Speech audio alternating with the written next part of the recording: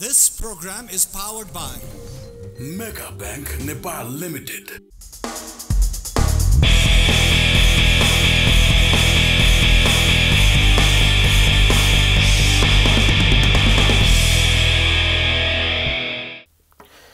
दर्शकबिन नमस्ते। प्राइम संवादमा यहाँलाई स्वागत छ। म कृष्ण मल्ल। सबै राजनीतिक दलहरू स्थानीय तह निर्वाचनको तयारीमा छन् र उनीहरू आफ्नो घोषणापत्रको निर्माणमा पनि लागेका छन् र गठबन्धनका अभ्यासहरू पनि चलिरहेका छन्। आज हामी सत्तारूढ दल नेपाली काङ्ग्रेसले अबको चुनावमा कस्तो रणनीति बनाएको छ उसका एजेन्डाहरू के छन् र चुनावमा जित्नको निम्ति उसका अभियानहरू र उसका गठबन्धनका कामहरू कति फलदायी होलान् यसमा केन्द्रित हुन गइरहेका छौँ र यसको निम्ति नेपाली काङ्ग्रेसका केन्द्रीय सदस्य नयन सिंह महर हामीसँग हुनुहुन्छ। स्वागत छ धन्यवाद। अब चुनाव त आइ नै सक्यो। तपाईँहरूसँग गठबन्धन पनि छ। अब काङ्ग्रेसले घर घर जाउँ काङ्ग्रेस जिताउँ भन्ने एउटा अभियान पनि थालेको छ र त्यस अन्तर्गत तपाईँ देशका विभिन्न ठाउँमा पुगेर भर्खरै काठमाडौँ आउनु पनि भएको छ। के छ तपाईँ देशमा विभिन्न गाउँहरू पुग्नु भएको छ? परिस्थिति के छ गाउँको चुनावी माहौल के कस्तो छ? गाउँलेहरू के भन्छन्? गाउँका जनताहरू उत्साहित भएका छन्। विशेष गरी अडचालिस साल पछाडि राजनीतिक क्षेत्रमा जनताको सहभागिता खास गरी नेपाली काङ्ग्रेसको कार्यक्रममा भन्नुहुन्छ भने हामीले अडचालिस सालदेखि रेगुलर हेरिरहेका छौँ। यसपटक असाध्यै ठुलो उभार असाध्यै ठुलो जनसमर्थन असाध्यै ठुला सभाहरू हाम्रा भइरहेका छन्।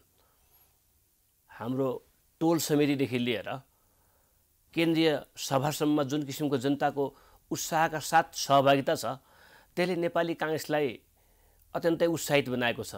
तर सँगसँगै जनताले एउटा प्रश्न गरेका छन् सबै राजनीतिक दलका लागि सधैँभरि सरकारमा जाने सधैँभरि घोषणापत्र लिएर आउने जनताका बारेमा केही कुराहरू चुनावका बेला उठ्ने तर कार्यान्वयनको सन्दर्भ फितलो हुने। यसको निदान के हो? यसको बारेमा कार्यान्वयन कसरी हुन्छ? यसको बारेमा दलहरूको धारणा के हो भन्ने प्रश्न पनि सँगसँगै जनताका आएका छन्। हामी अहिले चाहिँ जनताको त्यो प्रश्नको उत्तर खोज्ने अभियानमा छौँ। विशेष गरी घर घर जाउँ काङ्ग्रेस जिताउँ भन्ने अभियान जनताका हाम्रा प्रतिको अपेक्षा जनताका हाम्रा प्रतिको प्रश्न र हामीले गर्न नसकेका विषयहरू जे जति छन् त्यसको कार्यान्वयन गर्ने कसरी भन्दाखेरि यसपटकको घोषणापत्र पनि हामी त्यस्तै निर्माण गर्छौँ। जति हामी सक्छौँ यो अब प्रतिबद्धता पत्र मात्रै होइन कि यो कार्य कार्य यो कार्यान्वयनको आवश्यकताको एउटा डकुमेन्ट हो जस्तै गरेर हामीले एउटा टाइम सेड्युलमा यसरी काम गर्छौँ भनेर जनतालाई आधार पनि दिन्छौँ र यसपटक हामी त्यही अभियानमा लागेका छौँ। अब तपाईँहरू जनताको घर घर त जानुभयो तर घोषणापत्र बिनै जानुभयो नि। निर्वाचनको तयारी भर्खरै गति समातेर अगाडि बढेको छ। अ, नेपाली काङ्ग्रेस लामो समय जनताको बिचमा यसरी अभियानका रूपमा गएको थिएन मैले यहाँलाई भने केही जनताका अपेक्षा हाम्रा प्रति छन् केही हामीले गर्न नसकेका र केही हामीले चाहेर पनि गर्न नसकेका एकातिर केही हाम्रो इन्टेन्सनली पनि हामीले नगरेका विषयहरू पनि छन्। त्यसमा जनताका हाम्रा प्रतिका उत्तर जो प्रश्न छन् त्यसको उत्तर खोज्ने अभियान पनि हाम्रो थियो। अर्कोतर्फ नेपाली काङ्ग्रेसको सङ्गठन विस्तार पनि हाम्रो अभियान थियो। सँगसँगै नेपाली काङ्ग्रेसले राजनीतिक परिवर्तन विशेष गरी राणाशाहीबाट नेपाललाई मुक्त गरेर रैतीबाट नागरिक बनाउने जो जनताको अभिभार नेपाली काङ्ग्रेसको नेतृत्वमा सम्पन्न भएको थियो त्यो दिनदेखि आजका दिनसम्म यो देशको शिक्षाका बारेमा यो देशको सञ्चारका बारेमा यो देशको सडकका बारेमा यो देशको शिक्षाका बारेमा यो देशको स्वास्थ्य स्वास्थ्यका बारेमा र आम मानिसको सामाजिक जनजीवनमा आएको परिवर्तनका बारेमा पटक पटक नेपाली काङ्ग्रेसको नेतृत्वमा परिवर्तन भएका छन्। त्यसको संस्थागत विकास र त्यसको द्रुत गतिको विकास हुन नसक्या होला एउटा कुरा होला। तर विकास हाम्रो नेतृत्वमा भएको हो। काम पूर्ण रूपले गर्न नसकेका होला। अब हामी गर्छौँ। र अरू जति भ्रममा राख्ने जति दलहरू छन् बाँकी काङ्ग्रेस हितरका दलहरूले कुरा मात्रै गरे काम गर्न सकेनन् भन्ने एउटा ठोस आधार पनि जनताका सामुन्ने हामीले पस्किनु पर्ने थियो यो त तपाईँहरूले गफमा कुरा गर्नुभयो भाषण गर्नुभयो त्यहाँ गएर। तर लिखित रूपमा काङ्ग्रेसको नीति एजेन्डा यो छ यसकारण हामीलाई जिताउँ भन्नुको निम्ति तपाईँहरूसँग ठोस एजेन्डा थिएन। र हामीले काङ्ग्रेसका नेताहरूका कुराहरू सुन्दाखेरि दुईवटा काम गरे। एउटा एमालेको चाहिँ गाली बेइज्जती गर्ने उसको भण्डाफुर गर्ने उसलाई नालायक भन्ने। अर्को चाहिँ यो अमेरिकै सहयोग परियोजना एमसिसीका बारेमा तपाईँहरूले धारणा राख्ने। आफ्नो कुरा त केही पनि थिएन। थियो। अमेसी अमेरिकी सहयोग परियोजना एमसिसी लाई हामीले धेरै जति यहाँ मान्छेले हौवा फैलाएको छ त्यति किसिमले हामीले बोक्नु परेन। किनकि नेपाली जनताले हामी गाउँ जाने बेलासम्म सबै कुरा बुझिसकेका थिए। तपाईँको टेलिभिजनका माध्यमले बुझे पत्रिकाका माध्यमले बुझे मान्छेको व्यक्तिगत इन्ट्रेक्सनका माध्यमले बुझे फेसबुकका माध्यमले बुझे ट्विटरका माध्यमले बुझे विभिन्न माध्यमले हरेक जनता जसरी अहिले सूचनामा आफ्नो पहुँच पुर्याइरहेका छन् ती जनताहरूले सबै कुरा बुझिसकेका थिए। हामी गाउँ जाने बेलासम्म यद्यपि हामीले एमसिसीलाई पनि केही एउटा एजेन्डाका रूपमा राखेका थियौँ। तर अस्तिको केन्द्रीय समितिको बैठकमा मैले चाहिँ के भनेको छु कि एमसिसीलाई अब बोकेर गाउँसम्म लैजानु पर्ने कुनै कारण छैन। जनताले बुझिसक्यो यो नेपालको राष्ट्रिय हितका पक्षमा थियो। यसले नेपाल नेपालको विकासमा योगदान नै दिन्छ भन्ने कुरा विशेष गरी संसदमा एक दुईवटा साना दल बाहेक सबैको साथ समर्थन भइसकेपछि त यसले एउटा आकार लिइसक्यो। तर अब चाहिँ यसलाई चाहिँ यो एजेन्डागत रूपमा यो खण्डनका रूपमा बोक्नुभन्दा पनि यसलाई उपलब्धिका रूपमा नेपाली काङ्ग्रेसको सरकार नेपाली काङ्ग्रेसको नेतृत्वमा अहिले बनेको गठबन्धन सरकारको यो उपलब्धि हो। जसरी हामीले भ्याक्सिनलाई उपलब्धि भनेका छौँ बहत्तर प्रतिशतभन्दा बढी जनताले भ्याक्सिन पाइसकेका छन् बाँकी पाउने क्रममा छन्। हिजोको अवस्था एउटा त्यस्तो विकराल अवस्थामा थियो काङ्ग्रेसको नेतृत्वको सरकार आउनुभन्दा अगाडि। त्यसलाई जसरी हामीले उपलब्धिमा राखेका छौँ। त्यसै गरी एमसिसी परियोजना पास हुनु संसदबाट पास हुनु पनि नेपाली काङ्ग्रेसको नेतृत्वको गठबन्धनको यो सरकारको उपलब्धि हो। होइन मुख्य कुरा त काङ्ग्रेसको एजेन्डा भनेको गाँस बाँसको पास हुनुपर्ने हो। हामीलाई त एमसिसीले के गर्यो एमाले के गर्यो भन्नुभन्दा पनि अब अहिले यहाँ नेपाली जनता उपभोक्ताहरू खान नपाउने स्थितिमा पुगिसके मूल्यवृद्धि कहाँ पुगिसक्यो? अझै पनि आयल निगमले मूल्यवृद्धि गरेको छ। आफ्ना छोराछोरीलाई विद्यालय पठाउन नसक्ने अवस्था सिर्जना भइसक्यो। एउटा मान्छे बिरामी भएपछि अस्पतालमा गएर औषधि किन्न नसक्ने त्यो अवस्था आइसक्यो। औषधि व्यवसायहरू पनि अब औषधि आयात नगर्ने भनेर आन्दोलनमा गइसके। यी कुराहरू चाहिँ काङ्ग्रेसका एजेन्डा बन्दैनन्? काङ्ग्रेसका एजेन्डा बन्छन्। हामीले एजेन्डा निर्माणको प्रक्रियाको प्रारम्भ गर्ने टोल कमिटीसम्म हामीले यसपालि यहाँले भनेको कुरा नै लगेर गएको थियौँ। हामीले जनताको सानो खोला कलभट कुलोदेखि लिएर सिँचाइदेखि लिएर उसको स्वास्थ्य त्यहाँको हेल्थ पोस्टको अवस्था त्यहाँको स्कुलको अवस्था अथवा मन्टेश्वरी एजुकेसनदेखि हायर एजुकेसनको अवस्था के छ? नेपाली काङ्ग्रेसको सरकार केन्द्रमा त पछि अर्कोपट्टि बन्ला अर्को चुनाव आउँछ। तर अहिले स्थानीय सरकारका आधारभूत विषयहरू जहाँ जहाँ घर दैलो जनताको घरको सरकार जो घर दैलोको सरकार जसलाई हामी भन्छौँ त्यो सरकारका आफ्ना कार्यक्षेत्रभित्र विशेष गरी सङ्घीयतालाई बलियो बनाएर स्थानीय सरकारले माध्यमिक शिक्षासम्म त्यसको मोनिटरिङ त्यसको रेखदेख गर्ने उसको अधिकार छ। त्यो कार्यान्वयन भएको छ कि छैन? स्वास्थ्यका क्षेत्रमा उसको अधिकारको कुरा छ। आफ्ना स्थानीय सरकारमा विशेष गरी काङ्ग्रेसका तर्फबाट विजयी भएका प्रतिनिधिहरू र अरू पार्टीका पनि ककले के गर्यो? गरेको छैन भने हुन नसकेको विषय के हो? र किन भएन? अब के गर्नुपर्छ भन्ने विषयलाई लिएर जनताका आधारभूत आवश्यकताहरू सबै आवश्यकताहरूका बारेमा पनि हामीले डिस्कस गरेका छौँ। हामी टोल टोल घर घर पुगेका छौँ र त्यहाँबाट अब आएका विषयहरू हामीले एउटा तल वार्ड तहतमा घोषणापत्र निर्माण समितिको एउटा स्ट्रक्चर बनाएका छौँ। प्राध्यापक वकिल स्थानीय श्रमिक बुद्धिजीवी सबैलाई समेटेर वडाको घोषणापत्र बन्छ। त्यसमा वडाका समस्याहरू मात्रै रहन्छन्। त्यसपछि वडाका केही अलिकति ठुला समस्याहरू अर्को वडासँग जोडिने समस्याहरू एउटा पुलकै उदाहरण गर्नुहुन्छ भने एउटा वडाबाट अर्को वडालाई जोड्ने पुलका बारेमा जब हामी घोषणापत्र बनाउँछौँ त्यो पालिकाले गर्छ। पालिकाले दुईवटा वडाका समस्या सबै वडाका समस्या अगाडि ल्याउँछ। र सबै पालिकाका दुईवटा पालिका जोड्ने पुल चाहिँ जिल्लाले घोषणापत्र बनाउँछ। जिल्लाको आधारभूत विषयभित्र पर्छ र जिल्ला जिल्लाको दुईवटा जिल्लाको जोड्ने पुल अब प्रदेशको पर्छ। उदाहरणको लागि भने मैले दुईवटा प्रदेशको प्रदेश प्रदेश जोड्ने पुलको निर्माण केन्द्रीय सरकारको केन्द्रको घोषणापत्रभित्र पर्छ। हामी यो स्ट्रक्चरमा गइरहेका छौँ। तसर्थ घोषणापत्र निर्माणको क्रम जारी छ। केन्द्रीय समितिको बैठक अस्तिको ओरिएन्टेसन प्रोग्रामको जुन हामीले चाहिँ छलफल ठुलो बहस गऱ्यौँ त्यसभित्र यहाँले सुन्नुभएको छ मैले त एजेन्डागत रूपमा पनि यो यो विषय स्वास्थ्य शिक्षाको अ, निशुल्क प- प्राप्तिको प्रबन्ध स्वास्थ्य निशुल्क स्वास्थ्य शिक्षासँगै सर्वसुलभ यातायात सञ्चार र उद्यमशीलतासहितको रोजगार जनताको अधिकार काङ्ग्रेसको सरकार भनेको छौँ। काङ्ग्रेसको सरकारले जति तल दिनु पर्थ्यो जसले पावर जनतालाई डेलिगेट गर्नुपर्थ्यो र जनताका लागि जति काम गर्नुपर्थ्यो त्यो काम गर्न नसकेको अवस्था छ भने यसको कार्यान्वयन गर्नुपर्छ। माध्यमिक शिक्षा स्थानीय सरकारको अधिकारमा पर्ने नेपालको संविधानले माध्यमिक शिक्षासम्म निशुल्कको व्यवस्था गर्ने तर कार्यान्वयन छैन। अब यो त कार्यान्वयन संविधानले नै प्रत्याभूत गरेको विषय भयो। यसको शिक्षा निशुल्क भनेको छ तर कार्यान्वयन कहिले हुँदैन? कार्यान्वयनको विषय यसपालिको घोषणापत्र भनेकै नेपाली काङ्ग्रेसको एजेन्डा भनेकै संविधानले प्रदत्त गरेका विषयहरू जति मौलिक अधिकारका विषयहरू नैसर्गिक अधिकारका विषयहरू छन् त्यसको कार्यान्वयनको तर्फ नेपाली काङ्ग्रेस दृढ इच्छा र सङ्कल्पका साथ अगाडि बढ्छ। कार्यान्वयनको चुनाव। तपाईँहरूसँग त दुईवटा दायित्व छ अहिले। अब एउटा चुनावको निम्ति काङ्ग्रेसका दीर्घकालीन योजनाहरू अगाडि बनाएर एउटा विश्वसनीय रूपमा अगाडि बढाउनु पर्ने जनताको विश्वास लिन सक्नुपर्ने र विश्वास दिलाउनु पर्ने त्यो एउटा दायित्व छ भने अर्को तात्कालिक समस्याहरूको समाधान गर्नु छ। किनभने तपाईँहरू सरकारमा पनि हुनुहुन्छ। तात्कालिक समस्याको कुरा गर्दाखेरि त यहाँ त खानै नसक्ने परिस्थिति भइसक्यो। श्रीलङ्का हुने डर भइसक्यो। काङ्ग्रेस सरकार चलाइरहेको छ गठबन्धन चलाइरहेको छ देश काङ्ग्रेसको हातमा छ। अनि यो तात्कालिक समस्याको समाधानको निम्ति काङ्ग्रेसले केही पहल गरेर चाहिँ देखिएन है। यहाँले देख्नु भएको छ दुई तिनचोटि आर्थिक क्षेत्रको विज्ञहरूको विभिन्न चरण चरणको छलफल स्वयं प्रधानमन्त्री आफैले पनि चरणबद्ध अगाडि बढाउनु भएको छ।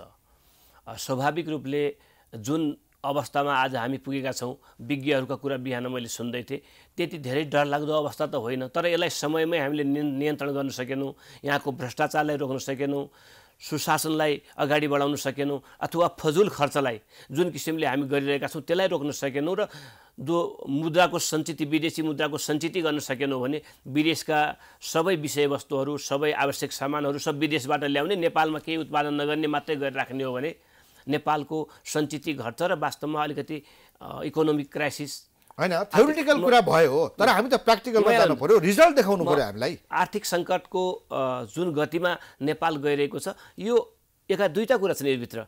यसको सुधारको विषयको प्रति हाम्रो सहमति। सुधार गर्नै पर्छ नभएपछि नेपालको दशा राम्रो हुन सक्छ।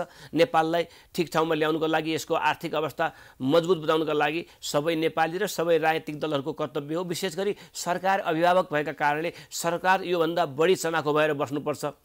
हाकाहाकी भ्रष्टाचारका कुराहरू आइरहेका छन् यसको नियन्त्रण गर्नुपर्छ। सुशासनका कुरा छन् सुशासनलाई बढावा दिनुपर्छ। र फजुल खर्चहरू दिनका दिन एकदम विलासी सामानहरू मगाउने विलासितापूर्ण जीवन बिताउने। एउटै मानिसलाई चार चारवटा सुधारका उपायहरू भए तर सुधारका उपायहरू हामीसँग हुँदाहुँदै। हामी किन सुधार गर्न सकिरहेका छैनौँ? दिन प्रतिदिन सुधारको ग्राफ त बढ्नुपर्ने हो नि। मैले यहाँलाई भने सुधारको ग्राफ बढाएको छैन। कसरी बढ्छ? चार पाँच खर्बमा नेपालको ऋण थियो। नेपाली जनतालाई नेपालको ऋण थियो चार पाँच खर्ब थियो। तिन वर्षको शासनकालमा जति बेला नेपाली काङ्ग्रेसको नेतृत्वको सरकारले स्थानीय सबै चुनाव सकिसकेपछि नेपाल कम्युनिस्ट पार्टीका अध्यक्ष प्रधानमन्त्री केपी ओलीले शासन सत्ता उहाँलाई दिई उहाँलाई हस्तान्तरण भयो। त्यति बेला एउटा नेपालीको भारमा बाइस तेइस हजार मात्रै ऋण थियो। अहिले त्यो पुगेर साठी हजार पुगेको छ। र पन्ध्र खर्ब अठार खर्बको हाराहारीमा त्यो लोन नेपाललाई गाँजेर उहाँ चाहिँ बहिर्गमन हुनुभयो तिन तिन वर्षमा। ठिक छ। आजको मुलुकको आर्थिक अवस्था व्यस्त यो जर्जर अवस्थामा पुग्नुको पछाडि ओलीको हात हो। म यसलाई ओलीका कारण हो। स्वाभाविक रूपले चार पाँच खर्बको मात्रै विदेशी जो जो नेपालको ऋण थियो त्यो ऋणलाई पन्ध्रदेखि अठार अहिले त अठार खर्ब नै करिब करिब पुगेको अवस्था छ। त्यो ऋण पुऱ्याएर त्योमा ऋणमा ऋण पुर्याउने ठुलो कुरा होइन। काहीँ विकास भएको भए देशले आय आर्जन गर्न सक्ने कुनै ठुला गतिविधि भएको भए ठोस आधारमा हामीले एक खर्ब यहाँ लगानी गऱ्यौँ चार अर्ब यहाँ लगानी गऱ्यौँ र हामीले यो ठोस आधार दियौँ भन्ने पनि कहीँ देखिँदैन। पैसा खर्च भएको छ। आरोपको खेल कतै खेल्ने आरोप होइन, आरोप। आरोप तथ्य काङ्ग्रेसले। अहिलेको सरकारले मलमपट्टि कहाँनिर होइन, गर्यो। आरो आरोप होइन कि तथ्य कुरा के हो कि यो पन् चौध खर्ब। जो तिन वर्षमा केपी ओलीले देशलाई ऋणमा राखे त्यो पैसा कहाँ गयो भन्ने कुरा अहिलेसम्म हिसाब किताब छैन। करप्सनका माध्यमले विदेश गयो अथवा कार्यकर्ता पालिए ए- चौध खर्ब। चौध खर्बको हिसाब किताब छैन। चौध खर्ब कहाँ खर्च भयो त? ठोस आधार एउटा धरारा बनेको छ। धरारामा पनि डबल पैसा खर्च भयो भन्दैछन्। धरारा पनि अझै पनि पाँच सात महिना त्यो सञ्चालन हुन्छ लाग्छ भन्छन्। केपी ओलीले त्यस्ता उद्घाटन त धेरै गरे। खर्बको हिसाब किताब त्यही पनि त्यो कम्प्लिट भएको छैन धरारा मात्रै पनि। त्यस्ता आधारहरू भए पनि हामीले यो बनेको हो पालामा उहाँको पालामा हो सरकार तर भएन। भन्दाखेरि यसरी नेपाली पुँजीको नेपालको सञ्चि सञ्चितको जो दुरुपयोग भएको छ जनताले ट्याक्स तिरेको पैसाबाट। सञ्चित भएको पैसा कार्यकर्ता पालनमा र भ्रष्टाचार जन्य गतिविधिमा जसरी नेपाल कम्युनिस्ट पार्टीको तत्कालीन सरकार लाग्यो एमालेका अहिलेका अध्यक्षको सरकार लाग्यो त्यहाँबाट देशको जो आर्थिक धराशायीको सुरुवात भएको त्यहाँबाट भएको छ स्वाभाविक रूपले अहिले पनि त्यसलाई कन्ट्रोल गर्न सकेको सम्पूर्ण रूपले कन्ट्रोल गर्न सकेको अवस्था छैन। यो कन्ट्रोल गर्नको निम्ति मुलुकलाई सुव्यवस्थित रूपले अगाडि बढाउनको निम्ति काङ्ग्रेसको गति जुन सुस्त भइरहेको छ त्यसका विभिन्न कारणमध्ये एउटा कारण यो गठबन्धन हो कि होइन? प्रचण्ड माधव नेपाल लगायतका दलका नेताहरूसँग ती दलहरूसँग सहकार्य गर्दा काङ्ग्रेसको सरकारको गति र स्वयं पार्टीको गति पनि सुस्त भयो हो कि होइन स्वाभाविक रूपले नेपाली काङ्ग्रेसको एकमना सरकारको भयो भएको भए अथवा वामपन्थी चरित्र धेरै अलिकति बाहिर देखाउने बलि अलिकति नाटक टाइपको देखाउने पनि हुन्छ। त्यो नदेखाउने किसिमका पार्टीहरू भएको भए प्रधानमन्त्रीले बढी काम गर्न सक्नुहुन्थ्यो। नेपाली काङ्ग्रेसले अलिकति द्रुत विकासको गतिविधिमा अगाडि प्रवेश गराउन सक्थ्यो अथवा आर्थिक जो मजबुती छ यसलाई मजबुत बनाउने प्रयत्न गर्न सक्थ्यो। आज त्यो अलिकति संयुक्त सरकार अथवा गठबन्धनको सरकार भएका कारणले गठबन्धनलाई पनि भारीका रूपमा बोकिराख्नु पर्ने अनि आफूले पनि दगाउनु पर्ने यो बिचको असमञ्जस्य परिस्थिति अलिकति निर्माण भएको छ। अब यसलाई चाहिँ हामी अरू दलहरूलाई पनि प्रधानमन्त्रीले नेपाली काङ्ग्रेसले सम्झाउनुपर्छ। ल ठिक छ। एउटा विषम परिस्थितिमा मुलुक सङ्कटमा परेको परिस्थितिमा यी वामपन्थी दलहरूलाई बोक्नु पर्यो। तर अब त छाडेर अगाडि हिँड्नुपर्ने तपाईँहरूसँग सुवर्ण अवसर हो नि चुनावको बेलामा। त्यही पनि यो बोझ चाहिँ प्रचण्ड माधव नेपालहरूको बोझ बोकेर काङ्ग्रेस किन हिँड्दैछ? दुई तिनवटा कुरा छ। पहिलो कुरा नेपालको परिवर्तन। पछिल्लो पटक नेपालको सङ्घीय लोकतान्त्रिक समावेशी गणतन्त्र जब स्थापना भयो जनताको आन्दोलनको वेगमा त्यति बेलाका हस्ताक्षरकर्ता सात राजनैतिक दल र आठौँ माओवादी।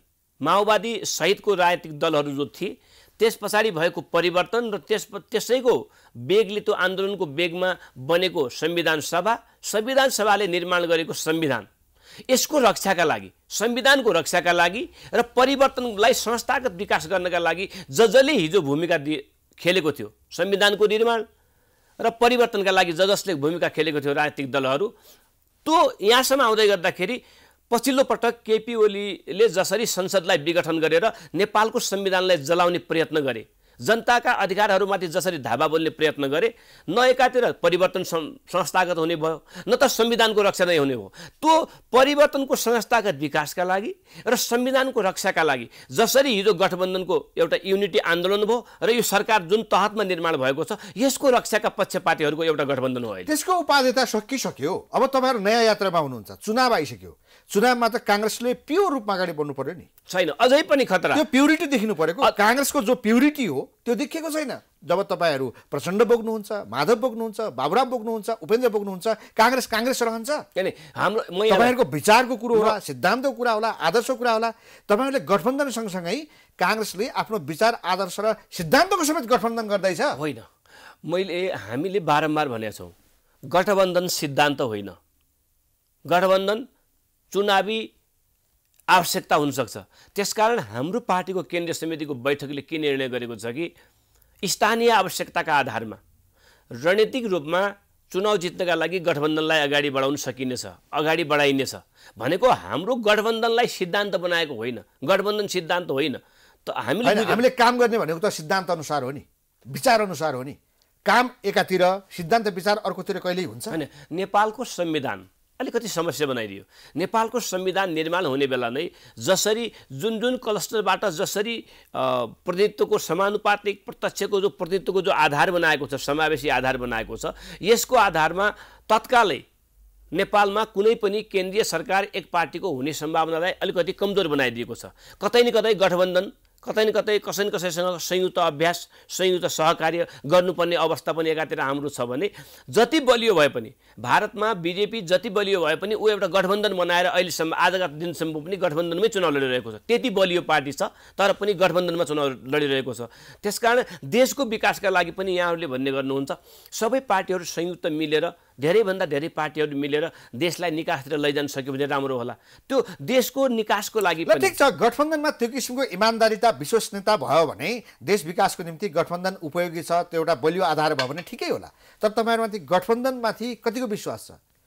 प्रचण्ड र माधवलाई तपाईँहरू आँखा चिम्लेर विश्वास गर्न सक्नुहुन्छ? अलिकति चारित्रिक रूपमा वामपन्थी चरित्र एक ठाउँमा बस्न नसक्ने र कहिलेकाहीँ चिप्लिदिने चरित्र संसारभरि हामीले पढ्न पाउँछौँ नेपालमा पनि देख्न पाउँछौँ। मैले यति मात्रै भने। तर हिजोका पुराना अभ्यासहरू जुन जुन प्रकृतिमा हिजो गठबन्धन संयुक्त सरकार बनेका थिए जसरी हिजो वामपन्थी दलका नेता साथीहरूले जुन जुन अभ्यास गरे जसरी काङ्ग्रेसलाई बिच बाटोमै छोडेर अर्को ठाउँमा जाने प्रयत्न गरे जो हिजोको अनुभूति छ हामीलाई विश्वास हो। यो विश्वास मात्रै हो। अहिले पनि। यो विश्वास मात्रै हो। अहिले पनि प्रचण्डहरू एमालेसँग संवादमा छन्। प्रचण्डका पार्टीका जिम्मेवार नेताहरूले भनिरहेका छन् कि हामी एमालेसँग संवादमा छौँ भनेर। एकातर्फ गठबन्धनमा प्रतिबद्धता जनाइएको छ। भागभण्डाको कुरो चल्दैछ। स्थानीय तहमा कसले मेयर लिने कसले उपमेयर लिने कसले अध्यक्ष लिने कसले उपाध्यक्ष लिने त्यो चलिरहेको छ। यो गठबन्धनकै कारण तपाईँहरूले उम्मेदवार छान्न सक्नु भएको छैन। उम्मेदवारी मनोनयन गर्नुभन्दा एक महिना अगाडि तपाईँहरूले आफ्ना उम्मेदवारको टुङ्गो लगाइसक्नुपर्ने तपाईँहरूको विधानको व्यवस्था छ। विधान समेत तपाईँहरूले उल्लङ्घन गरिसक्नुभयो। विधानको पालना गर्न सक्नु भएको छैन। यसका पछाडि गठबन्धनमा भागभन्डा भयो भन्ने एउटा प्रमुख कारण हो। त्यस्तो तपाईँलाई धोकाधडी भइरहेछ। उहाँ उहाँहरू चाहिँ एमालेसँग अझै वाम गठबन्धन गर्ने एमालेसँग एकता गर्ने कुराहरू अगाडि बढाइरहनु भएको छ। अझै तपाईँहरू चाहिँ नि देशलाई चाहिँ अगाडि बढाउनुको निम्ति सबै राजनीतिक शक्तिहरू एक ठाउँमा उभिनु राम्रो हो भन्ने सिद्धान्त बनाइरहनु भएको छ।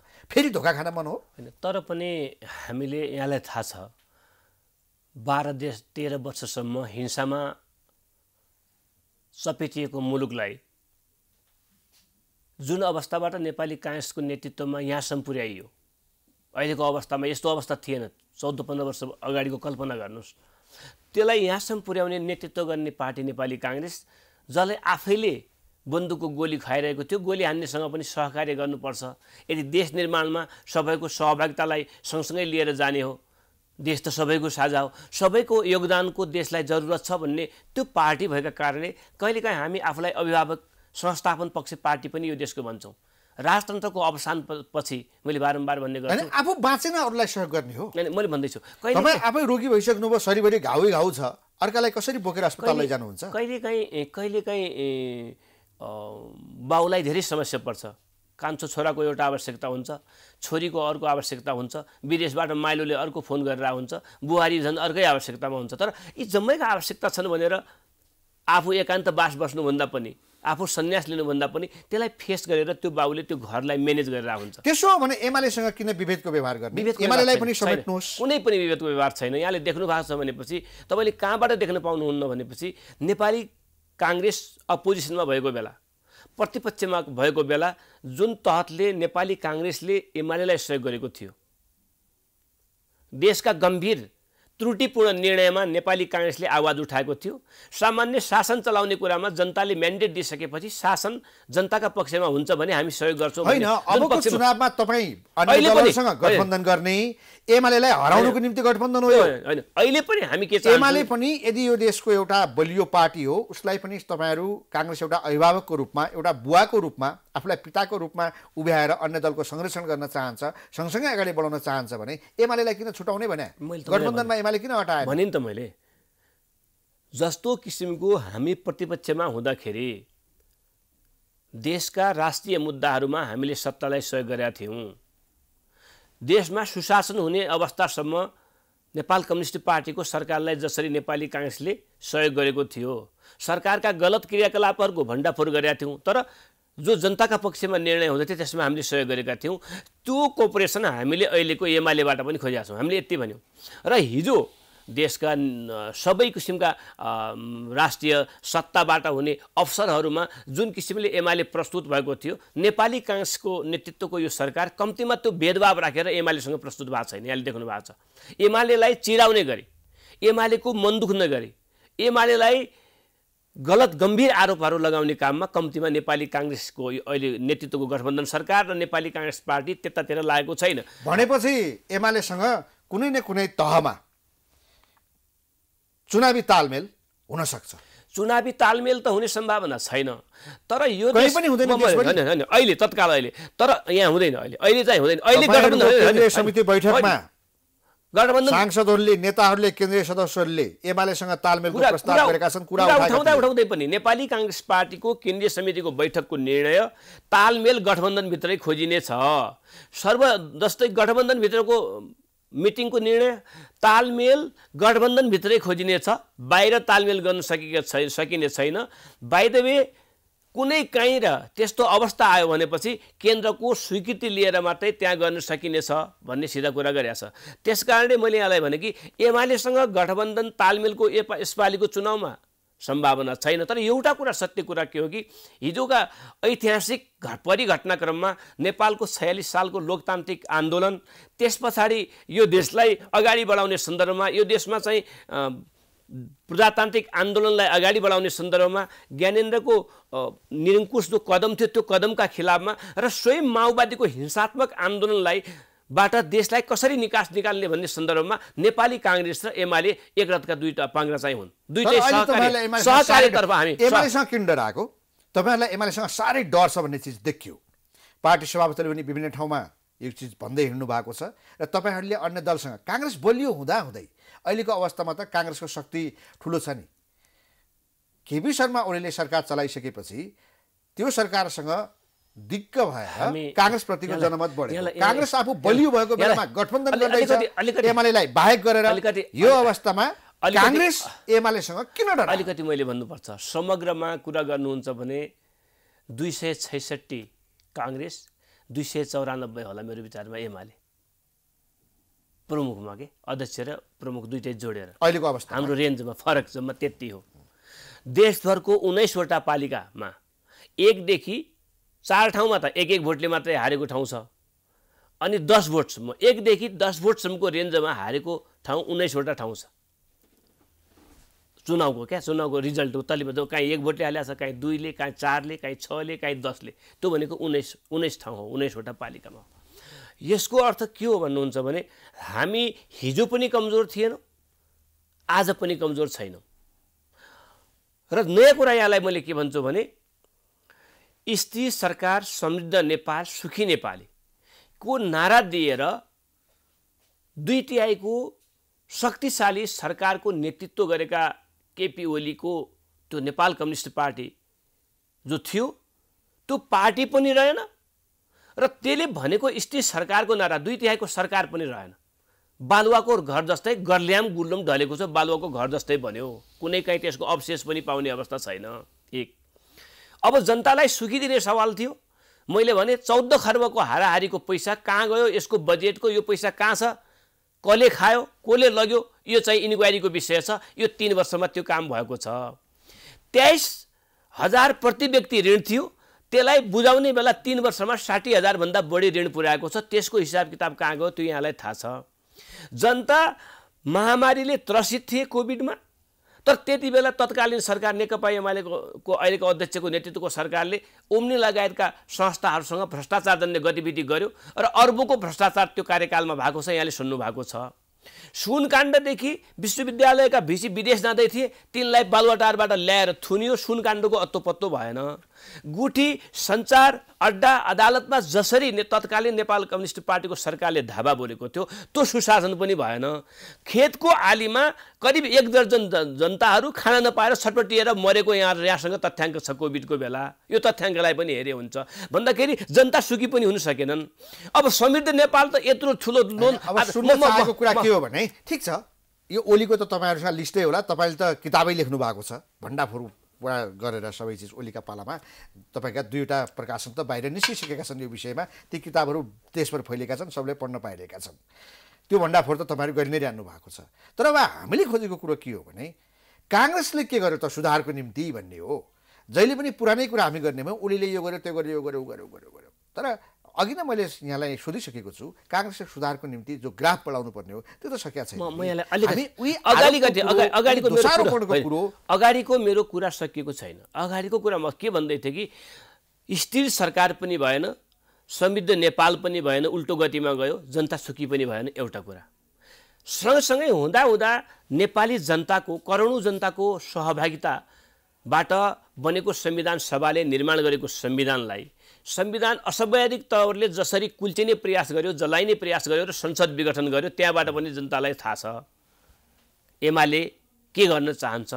अब अहिलेको कुरा पछिल्लो पटकको कुरा यहाँले हेर्नुहुन्छ भने एमसिसी लगायतका राष्ट्रिय सवालमा जसरी एमाले मुखदर्शक भएर बस्यो जुन उसको पहिलेको चरित्र हामीले नफलानु नफलानु न फलानु भन्थ्यौँ नि त त्यो अवस्थामा जहाँ नेपाल कम्युनिस्ट पार्टी एमाले उभियो त्यसले जनताले बुझेका छन्। एमाले जनताको पक्षमा काम गर्न चाहन्थे होला तर गर्न नसक्ने पार्टी हो। किनकि हिजो हामीलाई एक विषय गर्छौँ भने त्यो पनि गर्न सकेन कतै गर्न सकेन। अहिले पनि जनताको विकासका पक्षमा यस्ता अन्तर्राष्ट्रिय दार्टी संस्थाबाट आउने रकमका बारेमा पनि क्लियर बोल्न नसक्ने भनेपछि यसले त भोलि राष्ट्रिय मुद्दा आउँदाखेरि क्लियर बोल्न सक्दैन कि भन्ने जनताले त्यो कुरा बुझेका छन्। यसकारण एमाले अहिले अफेन्सिभ होइन कि डिफेन्सिभमा छ। काङ्ग्रेस अफेन्सिभ हो अहिले गठबन्धन अफेन्सिभ हो। अहिले हामीले फलानु फलानु फलानु कुरा केही गरेका केही गरेका छैन? नेपाली काङ्ग्रेसको नेतृत्वको अहिलेको गठबन्धनले मैले भने महामारीमा मान्छे मर्छ कि बाँच्छ भन्ने पहिले त जीवनको मान्छेलाई कुनै आधारै थिएन। त्यस्तो अवस्थाबाट देशलाई निकालेर अन्तर्राष्ट्रिय राष्ट्रिय सबै गतिविधि बढाएर स्वयं पार्टी सभापति शेरबहादुर देउबाको अन्तर्राष्ट्रिय व्यक्तित्व र नेपाली काङ्ग्रेसको इमेजको कारणले यत्रो भ्याक्सिन आएर जनता अहिले कम्तीमा मर्नबाट त बचिया छन्। त्यो सन्तास हेर्नु त तपाईँ समेत ठिक छ अब अहिले मुलुकको प्रमुख समस्या भनेको राजनीतिक समस्या भन्दा पनि आर्थिक समस्या चर्केर। मैले यसलाई भने नि त पहिले राजनीतिक समस्या भन्दा पनि हामीलाई कोभिडको समस्या थियो। त्यहाँबाट नेपालले कम्तीमा नेपाली जनताले मुक्ति पाएको अवस्था छ सरकारले सकेको छ। दोस्रो कुरा संविधानलाई च्यातेर यो देशलाई फेरि पुरानैतर्फ भत्काउने। बैलगाडाबाट अमेरिका जान सकिँदैन भनेर स्वयं प्रधानमन्त्री तत्कालीन प्रधानमन्त्री केपी ओलीले आन्दोलनको बेला भनेकै हुन्। त्यो कुराबाट मुक्त गरेर नेपाललाई संवैधानिक लिगमा ल्याउने यो लोकतान्त्रिकरणको अभ्यासमा नेपाललाई हिँडाउने दुईवटा काम यो गठबन्धनले गरेका छ। तेस्रो यसको कार्यक्षेत्र भनेको हिजोदेखि थन्किएको सबै सरकारले साइन लाउने सबै कम्युनिस्ट पार्टीका नेताहरू संलग्न रहने तर त्यो एमसिसी पासै नगर्ने त्यो टेबल गरेर कम्तीमा देशको इमेज त बचायो र देशलाई अलिकति भए पनि केही पैसाको जोहो पनि आर्थिक सहायताको जोहो पनि भएको छ त्यो यो सर यो सरकारले गरेका अब नियमित प्रक्रियाको चुनावको कुरा हो। तिन तहका चुनाव सम्पन्न गर्छ। भन्दाखेरि अहिले नियमित तरिकाका साना साना पुल पुलेसो बाटो घाटो स्कुल अथवा विद्यालय सबै कुराहरूमा त सरकार लागेकै छ। त्यो त नियमित कार्य सम्पादनको कुरा पनि सरकारले गरेकै छ। केही मूलभूत जो स्पेसल मुलुक श्रीलङ्का हुन्छ कि भन्ने भयङ्कर ठुलो त्यसलाई रोक्ने हो। हो अहिलेको अब आजको आवश्यकता आइपऱ्यो अब। अहिले आजकै दिनमा मैले के अनुरोध गर्न चाहन्छु कि यहाँकै टेलिभिजन मार्फत सरकारका सम्पूर्ण संयन्त्रहरू सरकार सरकारको सम्पूर्ण दिमाग चाहिँ देशको अर्थतन्त्रलाई बचाउने नेपाली जनताको आर्थिक अवस्था। अब अठार घन्टा सरकारले काम गर्नुपर्छ। मैले यहाँलाई मैले यहाँको म टेलिभिजनबाट अनुरोध गरेँ अर्थ मन्त्रालय अलिकति सुस्त भएको भन्ने आरोप छ। अर्थमन्त्रीजीले धेरै पर्फर्मेन्स पर्फर्मेन्स देखाउनु भएको छैन। अलिकति उहाँले बढी योग्य भएर काम गर्नु पर्यो भन्ने कुरा छ।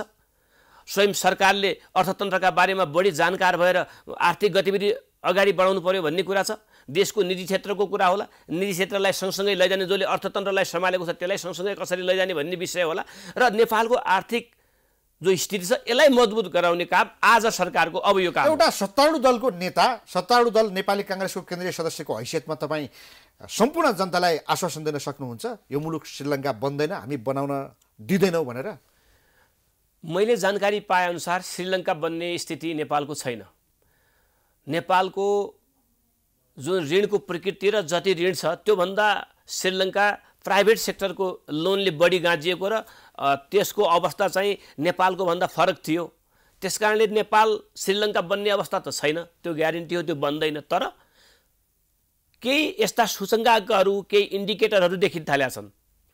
आर्थिक मन्दी हुने देशमा अभाव सृजना हुने मूल्य वृद्धि हुने फेरि जनतामा निराशा छाउने जनतामा निराशा थायो भनेपछि आन्दोलन बढ्ने आन्दोलनले फेरि चाहिँ देश समग्र सङ्कटमा पर्न सक्ने भोलि आर्थिक मात्रै हो नि भोलि अर्थतन्त्रले गडबडी भयो अर्थतन्त्रमा गडबडी भयो अर्थतन्त्र स्वस्थ रहन सकेन भनेपछि भोलि पाएको परिवर्तन देशको सिस्टममाथि पनि धावा बोल्ने प्रयत्न हुन्छ। यो गतिविधि रोक्नका लागि नेपाली काङ्ग्रेस नेतृत्वको गठबन्धन सरकारले सम्पूर्ण कुराहरूलाई छोडेर निर्वाचनलाई सँगसँगै लैजाने र बाँकी कुरा धेरै कुरालाई छोडेर आफू पनि मितव्ययी बनेर आफ्नो चारित्रिक प्रधानमन्त्रीदेखि मेसेन्जरसम्म सबैले म चरित्रवान छु मैले देशका लागि काम गरेको छु। देशको अर्थतन्त्र बचाउनका लागि यो सरकारले आफ्नो भत्ता कटौती गर्ने हो कि? संसदको भत्ता कटौती गर्नुपर्ने हुन्छ। मन्त्रीको भट्टा भत्ता कटौती गर्नुपर्ने हुन्छ। मन्त्रीको यातायात कटौती गर्नुपर्ने धेरै क्षेत्रमा लगानी हुने जो सरकारी विलासिताको विषय छ त्यो सरकारले आफूबाट सुरुवात गर्नु पर्यो अनि जनतालाई भन्नु पर्यो जनता साथ दिन तयार छ। हस् धेरै धेरै धन्यवाद। धन्यवाद। दर्शकबिन आज हामीसँग नेपाली कङ्ग्रेसका केन्द्रीय सदस्य नयन सिंह महर हुनुहुन्थ्यो। उहाँसँगको कुराकानी सकिन्छ। हामी सबैलाई बिदा दिनुहोस्। नमस्ते।